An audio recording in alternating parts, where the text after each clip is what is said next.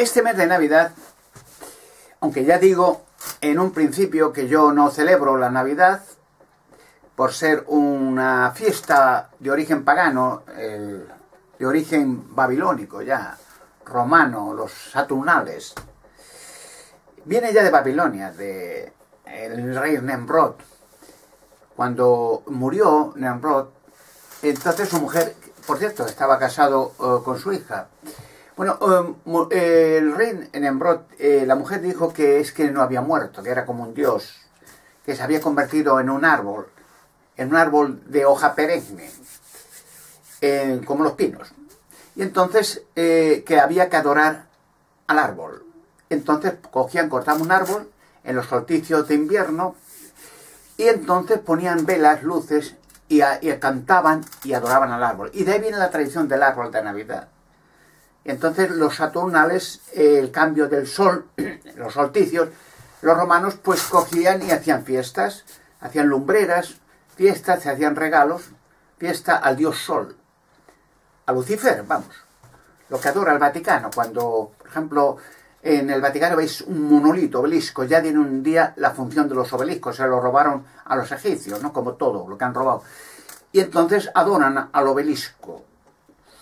El obelisco en, en Egipto era al dios Ra, el dios Sol, y lo adoraban como culto satánico. Bueno, pero bueno, esto vengo a decir que los orígenes de la Navidad no tienen que ver con el cristianismo.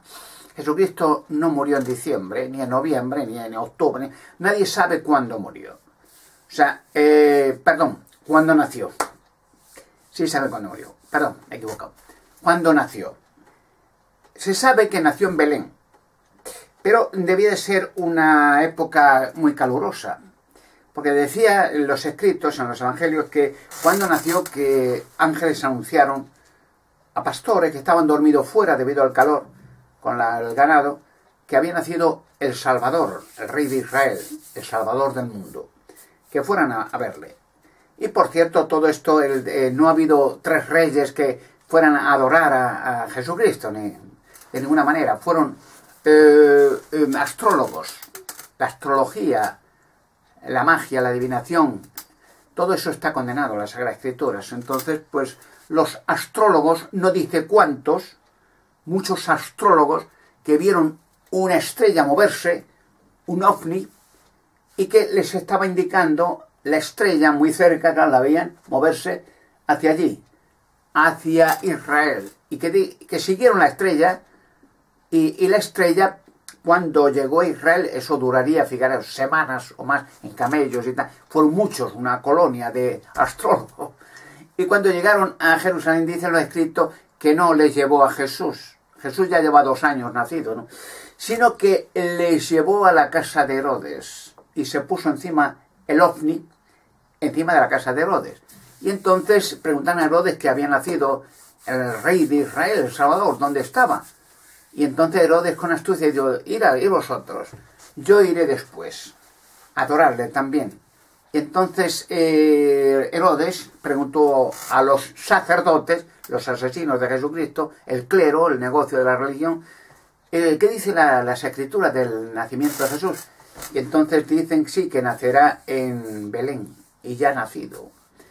Y entonces lo único que hizo eh, Herodes esperar a que los astrólogos, no dice nada de reyes ni nada, sino que cuando volvieron los astrólogos, un ángel le dijo a los astrólogos, no, no vayáis a Herodes, que va a matar a Jesús, los por otro camino hacia Babilonia.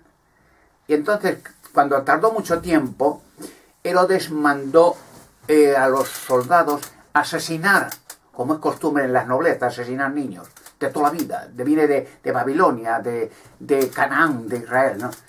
A todos los niños de Belén y asesinó cientos de niños. Dice, porque entre ellos menores de dos años. O sea, ya llevaba dos años Jesucristo nacido, no, acaba de nacer. O sea, ella era mayorcito, ya hablaba y tal. Y asesinaron un montón de niños allí, Herodes. Asesinando, ¿no? Para eso dejó el ovni el camino hacia Herodes, para que Herodes asesinara a Jesucristo. Bueno, todas estas cosas vengo a decir que hay mucho más del Papá Noel, de dónde viene, el Santa Claus y toda la historia esa. Bueno, la Navidad en sí es un negocio, una estafa gigantesca. Todo lo que tenga que ver con religión, estafa, robo, fraude, engaño, diabólico. O sea, todo, sin excepción, todo lo que venga con negocios de religión, rituales, procesiones, estatuas y fiestas paganas y, bueno, toda la porquería esa es estafa. El nombre es estafa, robo, fraude, engaño manipulación a la raza humana. De las 30.000 religiones diferentes hacen lo mismo. Más o menos cambian el nombre, los muñecos son los mismos, las reinas de los cielos son los, dioses y diosas. bueno, la Navidad es eso, un fraude. Por eso he querido comentar con esto que como aunque eh, yo no celebro Navidad, pero este mes primordial es un mes relajante, un mes que la gente se hace, no sé, lo he dicho en otro sitio, más simpática, más cariñosa, más humilde, más generosa con la gente desfavorecida. Así que yo he decidido, pues también, lanzar mi mensaje. bueno, mi mensaje es en especial para los guerrilleros y guerrilleras de Alberto Canosa, mis amigos. Son una multitud. Quisiera de todo corazón un día de verdad, de verdad, tener el privilegio, lo digo de corazón, porque ya conozco algunos, los aprecio en cantidad, me están ayudando, vamos, vamos, sois unos guerrilleros, pero mejor que los de Che Guevara, pero por, mucho, porque estáis haciendo una obra que va a cambiar el mundo. Un día tendré la oportunidad de, que ya cuando empiecen las revelaciones, que ya empezarán muy pronto, me invitarán en todas las televisiones a hacer shows o entrevistas y tendré el privilegio cuando vaya a los estudios, sean de México, Norteamérica, en, en Sudamérica, en México, en donde sea, pues allí habrá guerrilleros que me eh, vayan a saludar y tendré con ellos vez tras vez, donde quiera que vaya, un abrazo, una fiesta, unos cubatas, un, bueno, lo que sea. Darle las gracias uno a uno, cenar con ellos, disfrutar, agradecerles. Lo conseguiré sea quien sea, porque claro, la popularidad que cogerán estos descubrimientos será a escala mundial. Luego, decir, donde quiera que vaya, siempre habrá guerrilleros y guerrilleras que tenga yo el privilegio de fotografiarme con ellos, cenar con ellos y agradecerles personalmente. Este mensaje, pues, es en felicitación, porque eh, también he querido adicionalmente, adicional, aparte de los guerrilleros, a el, podríamos decir un eslogan, al suicidio desconocido. Desgraciadamente este mes de diciembre, y es así, ¿eh? Es el mes, que ya he dicho, un mes de fiestas y de regalos, pero es el mes en que más gente en toda la Tierra se suicida. Curiosamente, la depresión es tan enorme que mucha gente se suicida. Es el, más, el mes que más gente en todo el planeta se suicida. Nadie sabe cuántos, cientos de miles.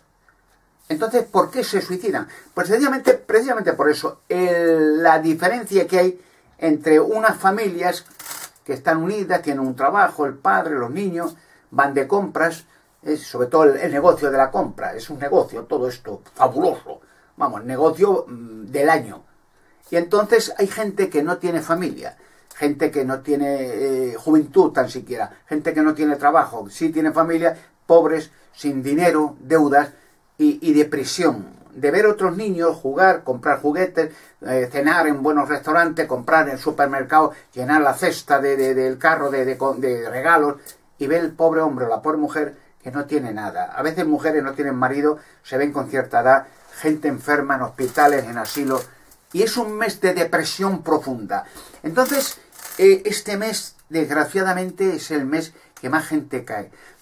Por otra parte, pues ni a nadie le importa esto. Bueno, generalmente, vamos. Hay gente que sí le importa, pero la mayoría ni le importa.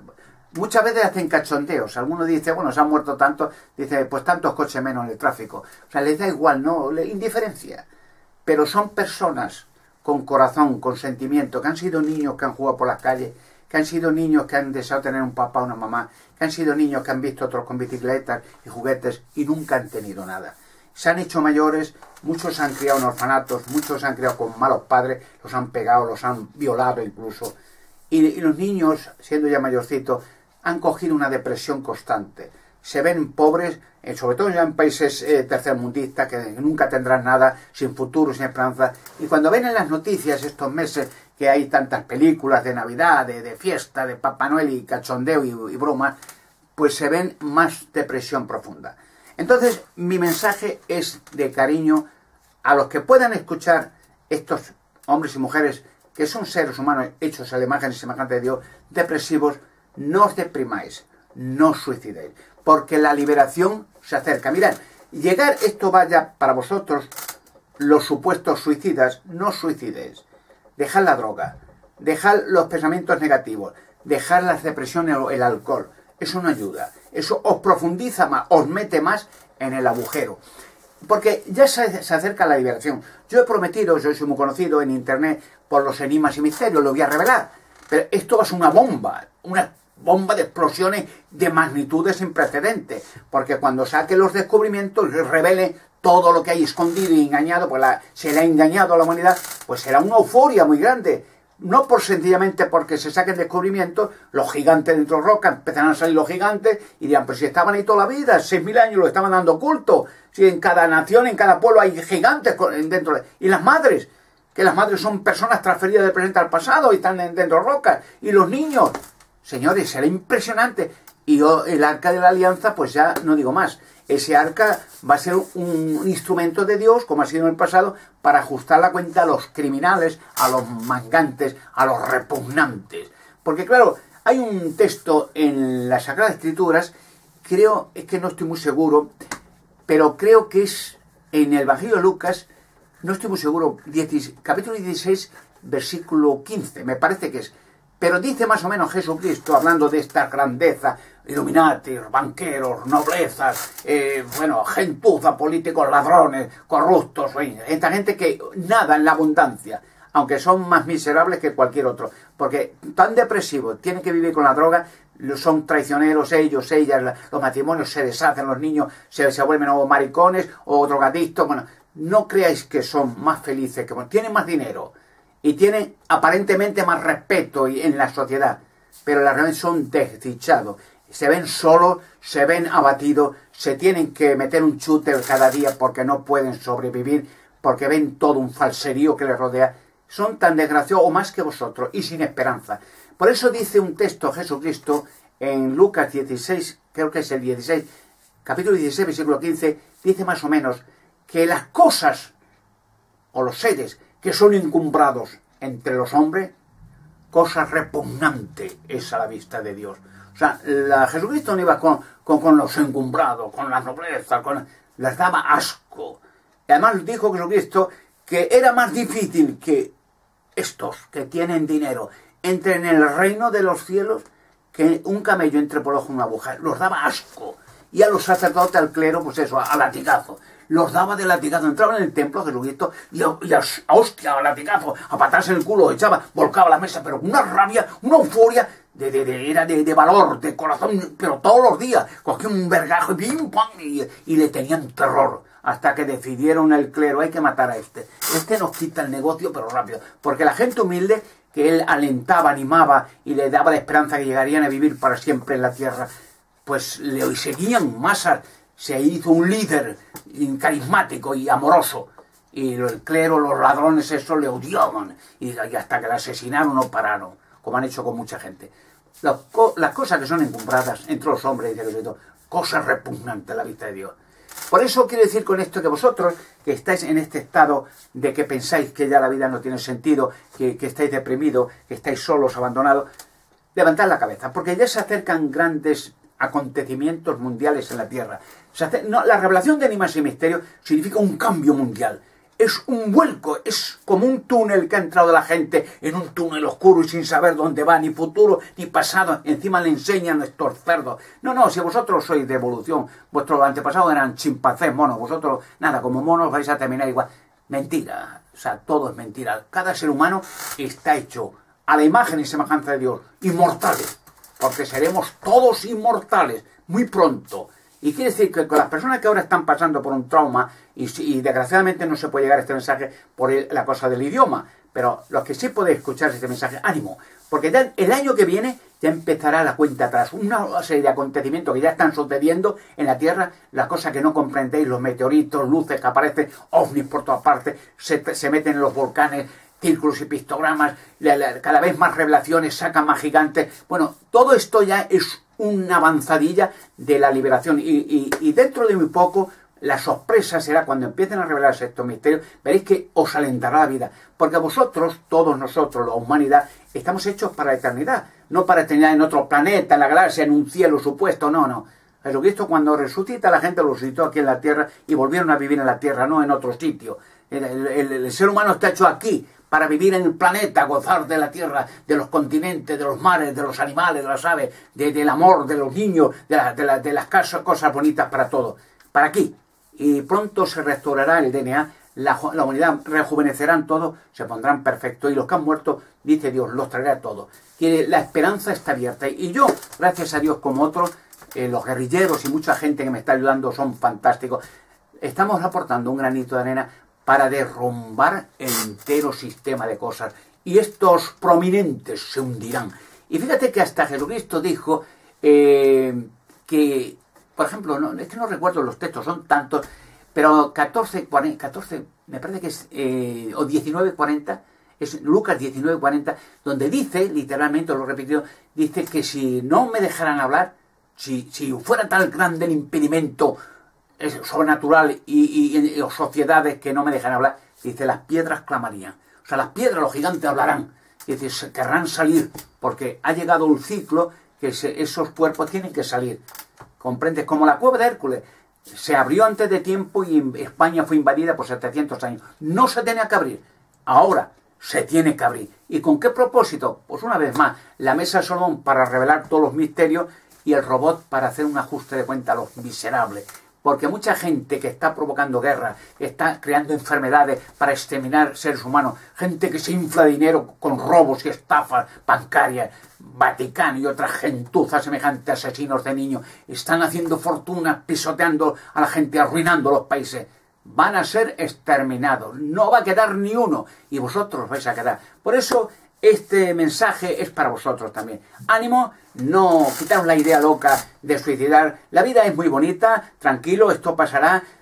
podéis hacer muchas cosas. Si alguno está metido en la droga, dejad la droga porque estáis alimentando a cerdos, estáis enriqueciendo a miserables que os tratan como la mierda, con perdón de la palabra. Y no le importa que muréis de una sobredosis, le da igual hay más millones que comprarán droga a precios abusivos y, los matarán a todos porque son asesinos de masa, genocidias, eso. Y muchas sociedades grandes, banqueros, políticos y, Vaticano son los mayores traficantes de droga del mundo. Así que ya sabéis a quién estáis haciendo rico y quiénes son vuestros asesinos. Pronto el cambio mundial será posible, la gente se recupera el DNA, ya está previsto para que la gente se vuelva a rejuvenecer se veréis sanos, cuando se acabe la maldad en la tierra, veréis amistades, veréis amigos, poseeréis la tierra. que os visto que felices son los de limpio de corazón, porque ellos poseerán la tierra. O sea que la tierra será para la humanidad, para que tengáis vuestra parcela, vuestros terrenos, vuestras frutas, vuestra casa, vuestra familia, y veréis rejuvenecer un nuevo sol, un nuevo amanecer para toda la eternidad, para que estas cosas terribles y amargas desaparezca. Así que posiblemente este, esta Navidad sea una de las últimas ya, en que ya el sistema caduco de sus últimas bocanadas. Así que, suicidios, no os suicidéis, que se suiciden ellos.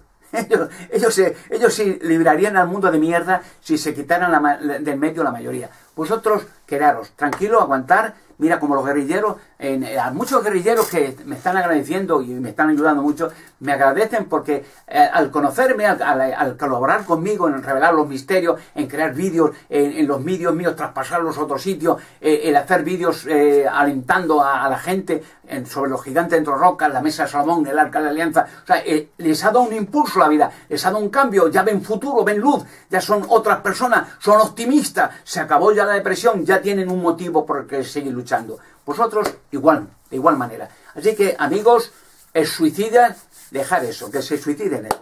Que se suiciden los del Vaticano y hacen un favor a, la entera humanidad, o los, o los Rockefeller, los Roche, los Illuminati y toda esa camarilla de perros que se quiten la vida, que da igual, que todo el mundo aplaudirá encima. Así que, ánimo, este año posiblemente sea uno de los últimos años. Y a los guerrilleros, pues no digo más, Estoy encantado con todos vosotros, guerrilleros, guerrilleras.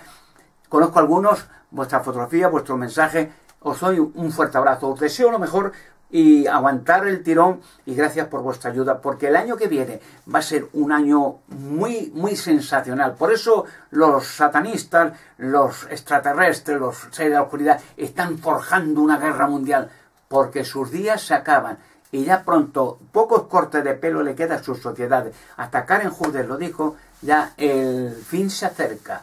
Lo sabe ella, lo sabe... Eh, es Nobel, lo sabe mucha gente, que ya están dando los últimos pasos, la última bocanada al fin del sistema.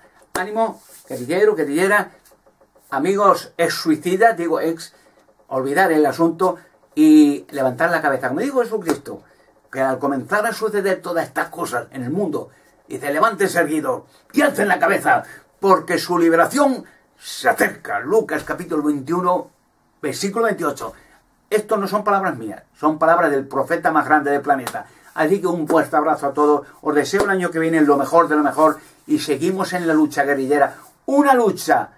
Ya esto ya es una leyenda. Esto ya es los guerrillos, guerrilleros, guerrilleras de Alberto Ganosa. Es algo ya que pasará a la historia. Es algo único que ha aparecido de la nada y que va a cambiar el mundo. Un fuerte abrazo y por ellos, que son pocos y cobardes.